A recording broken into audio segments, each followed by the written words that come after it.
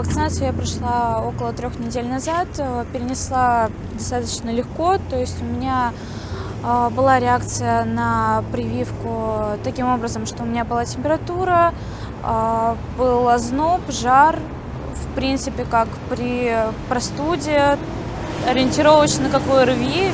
В моем окружении есть те, кто поставили прививку. Это также мои друзья, знакомые и родственники. В частности, мои дядя, тетя и также бабушка.